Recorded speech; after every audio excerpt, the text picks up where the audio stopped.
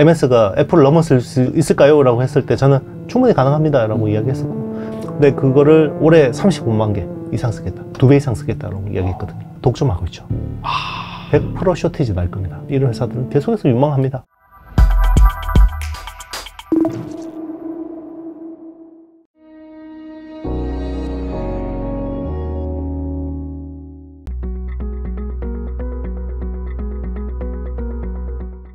네, IT의 신 이영수 대표님 모셨습니다. 안녕하세요. 네, 안녕하십니까? 어, 지금 방송하는 이 와중에서도 사실 시장은 뜨뜻미지근한데 반도체 주식도 엄청나게 오르고 있습니다. 반도체가 확실히 좀 네. 어, 2024년을 화려하게 지금 장식하면서 출발을 하고 있는데 이 반도체 관련해서 주목할 만한 투자 아이디어 있는지 알아볼 텐데요. 최근에 이제 마이크로소프트가 애플을 제치고 시가총액 1위에 올랐죠. 네. 그 뒤로 애플이 오르면서 약간 좀 엎치락 뒤치락 하는 감이 없지 않아 있긴 한데 그럼에도 불구하고 이게 거의 한 10년 만인가요? 상당히 좀 오랜 기간 동안 애플이 1등을 고수하다가 네네. 마이크로소프트가 이제 1등으로 올라서는 그런 상황이 발생했는데 이 투자 관점에서 주목할 만한 insight는 무엇일까요? 어, 일단 대장주, 그러니까 세계 1등이 바뀌는 거는 굉장히 중요한 의미가 있어요. 음. 그 시대를 관통하는 키워드라고 보시면 되고요. 애플이 세계 시총 1등을 처음 시작한 게 2012년이거든요. 그러면 거의 뭐 한 12년 좀 안 되는 거죠. 한 11년 정도 유지한 건데 딱 그 사이클이요. 모바일 혁명이었어요. 네, 스마트폰이 나오고 물론 이제 애- 그 스티브 잡스가 2008년도에 아이폰을 내놨지만 결국 이게 막 이제 사람들한테 뭔가 생활에 임팩트를 주기 시작한 게 어, 2012년부터였고요. 그리고 2013년에 중요한 사건이 있었는데 원래 그, 그 전까지 애플 이전까지 세계 시총 1등이 엑스모빌 석유 아. 회사였어요. 왜 그러냐면 중국이 전 세계 어떤 그 경제에 본격적으로 편입된 게 2000년대거든요. 2001년도 WTO 가입되면서 중국이 전 세계 원자재를 완전히 블랙홀처럼 빨아들였어요. 그러면서 이제 그 원자재 가격이 굉장히 많이 올랐고 세계 경제도 되게 좋아졌죠. 골디락스 경제라고 해서 어 미국하고 유- 중국의 어떤 팀워크가 유럽시 좋은 시점이었고 그때 이제 원유 가격이 많이 올라서 뭐 배럴당 100달러를 넘어서고 그게 이제 엑스모빌이 거의 2006년부터 2012년까지 거의 6년을 장기 집권하게 된 계기가 됐는데 중국이 어, 경제가 계속 고도화되잖아요. 자기들도 뭔가 첨단 산업을 계속 육성을 하다 보니까 산업 끌기도 하고 그러다 보니까 2013년부터 원유 수입액을 반도체 수입액이 넘어서요. 그러니까 이제 산업 자체 고도화됐다는 거죠. 그때부터 이제 정말 본격적인 모바일 혁명이 시작됐다고 봐야 되는 거고, 자, 이번에 그럼 뒤집어진 거는, 어, 모바일 혁명이 이제 AI 혁명으로 바통 터치하는 거다. 이렇게 보시면 돼요. 그러니까 마이크로소프트가 그동안에는 계속해서 애플한테 눌려 있다가 왜 이제 잘 됐냐면, 모바일 혁명에서 대응을 못했어요. 음. 마이크로소프트는. 네. 모바일 혁명에서는 조연에 불과했고요. 인텔도 마찬가지죠. 근데 AI 혁명은 정말 이를 갈고 잘 준비를 해서 잘 대응한 거고, 그리고 이번 AI 혁명의 주역은 마이크로소프트가 아니죠. 사실 말하면.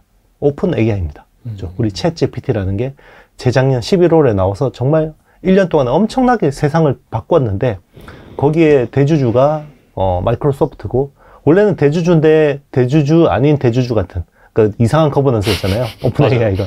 근데 참 운도 좋게도 샘 알트만이 해고되면서 그게 완전히 이사회를 장악하는 계기가 됐고, 어, 그걸로 이제 OpenAI라는 가장 어떤 지금 핵심 기업을 소유하게 됐고요. 마이크로소프트가 이사회도 장악했고, 그리고 또 하나는, 어, 비즈니스 모델에서 뭔가 성공을 보여줬어요. 그전에는 AI 가지고 어떻게 돈을 벌어. 이거는 막, 어, 비용만 많이 나오고 돈을 못 벌 거야. 라고 했는데, MS365 코파일럿. 그게 대박을 쳤죠. 음. 그리고 계속해서 지금 기업들이 이거 가지고 생산성이 너무 좋아지다 보니까 빨리빨리 확대해줘. 라고 했는데, 그 전까지는 1000명 이상의 사업장에만 이제 서비스를 해줬는데, 최근에는 더 확대를 해서 상당수의 기업들이 쓸 수 있게 된 거죠. 음. 그래서 AI로 돈을 벌고 그리고 AI의 가장 핫한 회사를 소유한 회사가 마이크로소프트가 되니까 지금은 네 마이크로소프트의 세상이 시작된 거 아니냐 이렇게 볼 수 있습니다. 말씀을 들어보니까 마이크로소프트가 시가총액 1위를 한 게 단순히 약간 뭐 이벤트가 아니라 약간 지속될 가능성이 있다. 그렇게 생각할 수가 있겠네요. 네, 저는 구조적으로 가능하다고 봤고요. 뭐 작년에 우리 여기 출연해서 어, MS가 애플을 넘어설 수 있을까요? 라고 했을 때 저는 충분히 가능합니다 라고 이야기했었고 그게 생각보다 빨리 온 것 같아요. 그러니까 AI라는 게 이게 기술 발전 속도가 어, 진짜 모바일 혁명 때보다 훨씬 빨라요. 애플도 사실 AI를 준비 안 한 게 아닌데 네네. 그럼에도 불구하고 애플 같은 경우에는 약간 번지수를 잘못 잡았다 그렇게 볼 수 있을까요? 그러면 뭐 그렇게 볼 수도 있는데요. 결과론적으로 그런 건데 애플은 이제 어떻게 보면 이제 예전에 호모 사피엔스가 오스트랄로피테쿠스가 나오고 하나씩 이렇게 또 어떤 비슷한 영장류들을 제압하면서 이렇게 내려오잖아요. 결국 이제 그 Siri라는 거는 네안데르탈인이었던 거죠. 결과적으로 보면. 그때는 그게 아니라. 네, 음. 그게 이제 대세가 될 줄 알았는데 그 Siri라는 게 대세가 안 되고 Siri보다 좋은 기술이 나온 거죠. 그러니까 이게 deep learning 기반으로 이제 transformer라는 이 AI 기술이 메, 메인 대세가 돼버렸는데 Siri는 transformer 모델 기반이 아니죠. 음. 그러다 보니까 LLM, 즉 우리 지금 굉장히 핫한 라지 랭귀지 모델 기반이 아니다 보니까 이걸 갈아엎어야 되는. 그러니까 갈아엎어야 되는데 어 이게 진짜 1년 만에 벌어진 일이잖아요. 맞아요, 맞아요. 그러니까 애플도 이거를 뭐 늦게 변한 게 아니에요. 와 이게 LLM으로 가는구나 라고 이걸 몰랐던 게 아닌데 이게 갈아엎기까지 또 시간이 필요했던 거죠. 음. 네, 거기다 뭐 거의 뭐 수십조, 수백조를 들였을 거 아니에요. 맞습니다. 어, 네, 그걸 다 갈아엎어야 다 되니까. 갈아엎어야 되죠. 매몰 비용이라는 거죠. 아니 뭐 무슨 농사 망해가지고 뭐 배추가 네. 갈아엎는 것도 아니고. 네네 그렇죠. 어. 이- 그래서 어, 어떻게 보면 이게 테크 기업들의 불확실성일 수도 있는 거죠. 이, 이쪽 방향인가 봐요. 그러면서 확 질렀는데 이게 어? 더 좋은 게 나왔네? 네. 그, 또 모르죠. 뭐 지금 LLM이라는 우리 대규모 언어 모델이 메인인데 AI 이거보다 누가 더 좋은 기술을 방향을 찾아버리면 또 그렇게 될 수도 있어요. 근데 아직까지는 모르죠. 네. 아직까지는 LLM이 메인이 될 가능성이 높다고 보고 있고, 그리고 LLM이 향후 뭐 10년 동안은 지속될 가능성이 높다고 보는 게, 어, AI라는 기술이 그전, 그전에는 어, 특이점을 넘지를 못했어요. 음. 그러니까 알파고라는 2016년 그때 딥러닝 기반의 바둑 프로그램이 있었죠. 알파고가 이제 이세 돌고 다나고 핫했는데, 이거 가지고 바둑 두는 거 말고 잘하는 게 없잖아요. 근데 챗GPT는 AGI라고 Artificial General Intelligence에 대한 가능성을 열어줬고 이거는 확장성이 엄청 커요. 그러니까 AI를 가지고 활용할 수 있는 것들이 되게 많은 거죠. 그 전까지만 해도 AI라는 거는 특수 목적, 특수 기능밖에 못하는 굉장히 제한적인 어떤 도구였는데 이게 굉장히 범용적인 도구가 될 수 있는 어, 이 기술을 방향을 열어버린 거죠. 어쨌거나 이제 애플도 갈아엎고 네네. 그다음에 나머지 그런 기업들도 이거 완전히 AI 주도권을 뺏기지 않기 위해서 내지는 좀 만회하기 위해서 엄청나게 투자를 하다 보니까 이 반도체 수요가 폭발적으로 늘어나고 있다. 네네. 이런 부분들이 증명이 하나하나 되고 있는데 대표적으로 지난주에 TSMC의 실적 발표 보니까 실적이 상당히 좀 잘 나온 걸로 알고 있고 이러한 분위기가 또 메타까지 뭐 이어져 가지고 뭐 금일 촬영 당일날 반도체 주식이 불을 뿜고 있는데 이 TSMC의 실적은 어땠나요? 어, 일단 전 분기 대비해서 14% 매출하고 영업이익이 더 잘 나왔고요. 그리고 이제 거의 뭐 전년 대비해서도 거의 비슷한 수준까지 나왔고. 그러니까 지금 뭐 그렇게 업황이 좋은 상황이 아니잖아요. 맞아요, 특히나 맞아요. 내구 소비재들이 되게 안 좋잖아요. 스마트폰하고 PC하고 이런 쪽이 안 좋은데 진짜 AI가 하드 캐리했다고 봐야 되는 거고요. 그리고 이제 가이던스가 되게 좋았죠. 이제 제시해주는 올해 가이던스가 굉장히 긍정적이었고 그리고 이제 우리 3나노에 대해서 굉장히 많은 의문들이 있었잖아요. 아, 애플이 저걸 3나노를 적용했는데 뭐 생각보다 별론데? 라고 했는데 그 3나노 매출을 오르는 속도가 굉장히 빨랐어요. 음. 그것도 특히나 AI에 대한 수요 때문에 그런 건데 작년 기준으로 3나노 매출 비중이 한 6% 정도 됩니다. 근데 올해 제시한 게 15%거든요. 아마 그것도 더 넘어설 가능성도 굉장히 높은 상황이고. 그러니까 우와 저기 AI 쪽이 저렇게 수요가 좋구나 라고 보니까 엔비디아도 좋구나. 그러면 AI 붐이 본격적으로 되는구나. 라고 이제 기대할 수 있는 거고. 그리고 이번 CES에서도 보면 전부 온 디바이스 AI 이야기였죠. 그리고 온 디바이스 AI 쪽에서 굉장히 많은 어, 빅테크들이 여기 쪽으로 올인한다라는 걸 이제 보여줬고, 우리 국내 기업 입장에서는 갤럭시 S24가 생각보다 괜찮았어요. 어, 저도 사실 크게 기대를 하지 않았는데, 기대, 기대 별로 안 하셨잖아요. 네, 안 했습니다. 근데 생각보다 잘 나왔더라고요. 어, 그리고 이제 어, 삼성이 굉장히 스마트한 게 어, 자기네들 자체 AI 가우스만 고수하지 않고요. 이번에 그 이렇게 이미지에다 동그라미 동그라미 그리면 이제 이렇게 서칭해 주는 거 있죠. 음. 서클 투 서칭가? 네, 그 그런 것도 그건 구글 제미나이 기술이거든요. 아, 그러니까 멀티 AI를 한 거죠. 굉장히 스마트했다고 생각합니다. 판단 잘했네요. 사실. 맞아요. 네, 우리가 아 우리는 가우스만 띄울 거야 이렇게 했으면 어, 이 활용도 측면에서 굉장히 떨어졌을 텐데 굉장히 여러 고심을 한 것 같아요. 그래서 음. 앞으로 AI 모델 중에 좋은 거 있으면 얼마든지 우리 그 디바이스에서 쓰겠다. 뭐 이런 걸 보여준 것 같아요. 그리고 이제 보니까 메타가 뭐 AI 관련해서 투자를 엄청나게 하겠다라는 부분도 좀 반도체 주식에 영향을 준 것 같은데 이 메타의 코멘트는 구체적으로 뭐 중요한 게 뭐가 있을까요?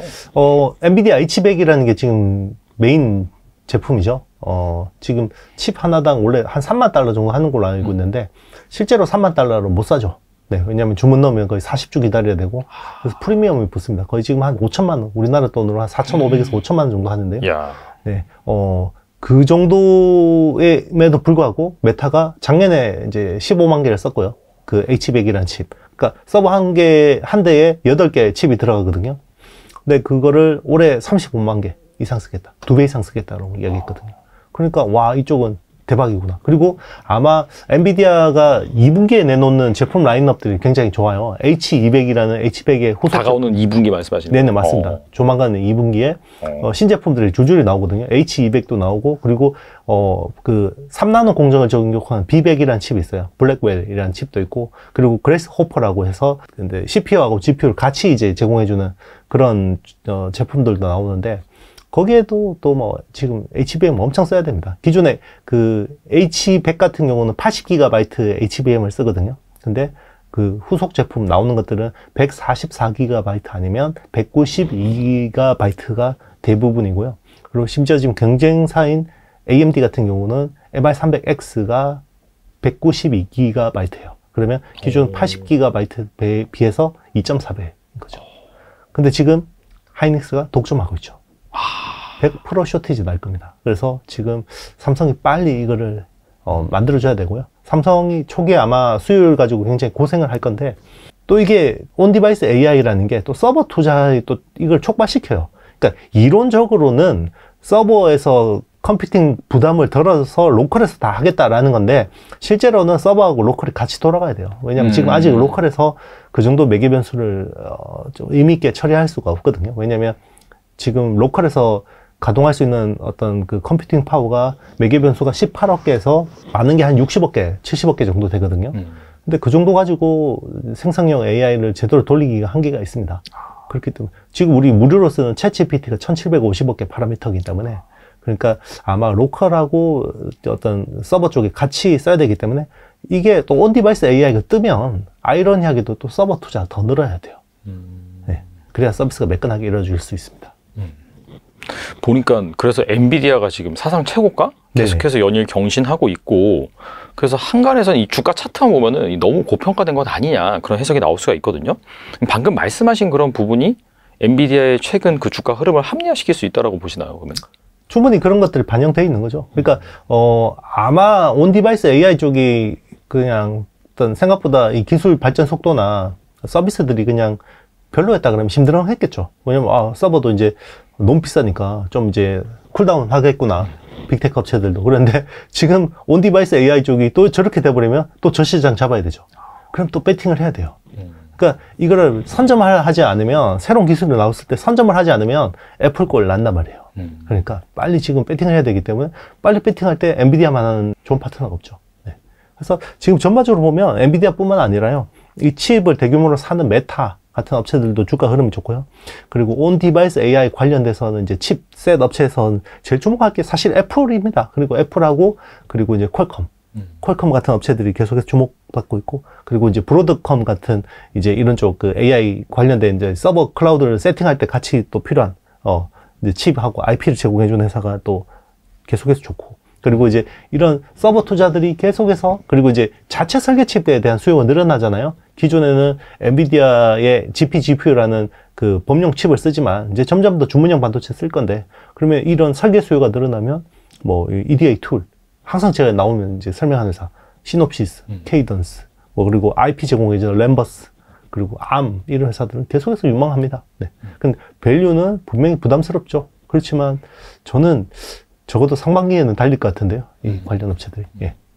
AMD도 최근에 상당히 잘 오르더라고요. 네네. 뭐 엔비디아가 한 5% 오르면 한 8% 오르고 약간 좀 뭐랄까 탄력이 더 좋은 것 같은데 AMD도 그럼 잘하고 있나요 지금? 어, 일단 이제 AMD가 칩이 나왔을 때는, 어, 굉장히 많은 의문들이 있었어요. 업계에서는. 왜냐면, AMD가 칩은 좋아. 싸, 싸죠. 그냥 이제 엔비디아의 H100이나 이런 거에 비해서 쌉니다. 싸고, 그리고 메모리도 많이, 쓰, 그 HBM도 많이 채택했기 때문에 좋아요. 기대할 수 있는데, 와, 과연 저 엔비디아의 쿠다라는 엔지니어 생태계를 어떻게 넘을 수 있을까? 음. 라는 의문이 있었죠. 그래서 아 아무리 그래도 엔, 그 엔지니어들이 그냥 엔비디아 칩 쓰면 쉽게 개발할 수 있는 거를 AMD 칩을 쓰면 엄청 고생을 해야 된단 말이죠. 컴파일이라는 거 해야 되기 때문에. 왜냐하면 AI 모델을 만약에 하나 개발한다 그러면 100%다 프로그래밍 하진 않잖아요. 외부에서 오픈 소스도 가져오고 막 이렇게 해야 되는데 대부분 소스 가져오기 좋은 데가 쿠다에 다 쌓여 있거든요. 그러면 쿠다에 쌓여 있는 이 소스 코드들을 컴파일해서 AMD 써야 되기 때문에 어, 굉장히 어려움이 있는 건데, 그러니까 어, 한쪽은 그냥 대학 교재가 그냥 한글 교재인데 한쪽은 원서 번역해 써야 되니까 굉장히 그렇잖아요. 아. 어, 엔지니어 입장에서는 어, 내가 영어도 별로 잘 못하는데 아, 원서 써야 된다 이러면 싫잖아요. 이제 그런 차이라고 봐야 되는데 이번에 AMD가 어, MI300 시리즈를 내놓으면서 굉장히 이 컴파일에 대한 부분들 강조를 했어요. 그 왜냐면 기존에는 이 칩을 쓰는 업체들이 굳이 그탈 엔비디아를 할 이유가 없었어요. 근데 지금은 40주를 기다려야 되는 상황이기 때문에 자기들은 AI 어떤 기술이 굉장히 delay 될 수 있잖아요. 그러다 보니까 이 그 AMD의 어떤 그 소프트웨어 생태계에 적극 참여하기로 했습니다. 그래서 마이크로소프트하고 오픈 AI 뭐 이런 회사들이 그 주요 10개 빅테크 업체들이 컨소시엄에 완전히 적극 참여하기로 했고요. 그리고 AMD도 이번에는 굉장히 그 어떤 컴파일이나 이런 부분에 대해서 굉장히 매끈한 서비스를 내놨습니다. 그래서 어, AMD 주장이긴 한데 이 전환 성공률이라고 한- 하는 거죠. 그 엔비디아 쿠다에 있는 것들을 가져와서 전환했을 경우에 성공률이 95%다. 네, 그렇게 이야기를 했습니다. 근데 이제 뭐 이게 엔지니어 세계에서는 95%하고 100%의 차이가 또 얼마나 될지는 모르겠지만 그 전에 비해서는 허들이 그래도 상당 부분 낮아진 거 아니냐 이런 음. 것들이 이제 주가에 좀 긍정적으로 작용하는 것 같아요. 어쨌거나 뭐 빅테크 업체들은 이 엔비디아나 뭐 AMD로부터 그 칩을 받기 위해서 엄청나게 투자를 하는 거고 또 사실 엔비디아나 AMD가 경쟁을 함으로 인해서 또 HBM3 같은 경우에는 또 SK하이닉스 독점을 하니까 결과적으로 약간 이런 거에 수혜를 보는 기업은 우리나라에서 치자면은 그런 SK 하이닉스와 네네. 뭐 관련 value chain이다 그렇게 볼 수 있을까요 그러면? 맞습니다. 지금으로 보면 이제 그런 거고요. 어, 그리고 이제 우리 HBM은 아이고, 뭐 전공정에 비해서 별로 그래도 아무리 후공정이 어렵다고 해도 전공정에 비해서 얼마나 어렵겠어? 라고 음. 생각했잖아요. 그래서 삼성도 금방 따라오고 마이크론도 생산하고 이런 것들 감안하고 지금 수요 계획을 세웠을 거란 말이죠. 근데 지금 아직까지는 SK 하이닉스의 독점 구조가 깨지지 않고 있고 그리고 삼성전자가 생각보다 수율이 잘 안 나오고 있고요. HBM 쪽에. 어, 그리고 이제 그러면 HBM만의 문제인가? 또 그것도 아니에요. 아 그래요? 그러니까 D램 낱장을 만드는 데서 좀 문제가 있습니다. 어. 왜냐하면 지금 어, 기존에는 원G 그러니까 16나노 공- 공정 기반의 D램을 가지고 HBM3를 만들고 그리고 그 DDR5 같은 칩을 만들었죠. 근데 이제 이게 지금 14나노, 1A하고 1B, 1B는 12나노 이런 식으로 tech migration이 돼야 되잖아요.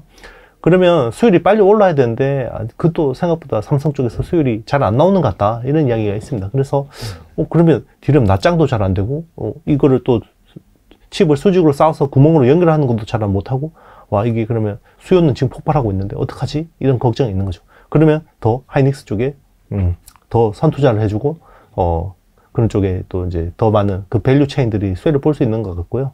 그래서 최근에 한미 반도체가 다시 막 이렇게 좀 조정받다가 다시 또 음. 막 올라오는 이유가 와 그 중에 하나가 병목이 또 본딩 TC 본딩이라는 어 저게 독점이 될 줄 몰랐는데 독점이 됐구나.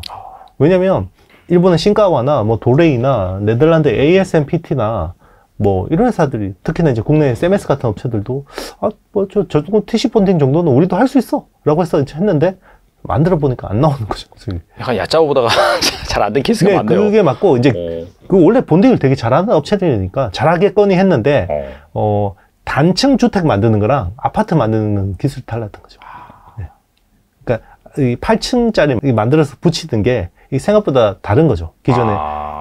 이칩 두 개를 붙이는 거하고 여덟 개 층을 붙이는 게 요게 기술이 굉장히 다른 거였구나. 어. 그래서 의외로 지금 한미 반도체가 그런 쪽으로 지금 독점 구조로 가고 있는 상황이죠.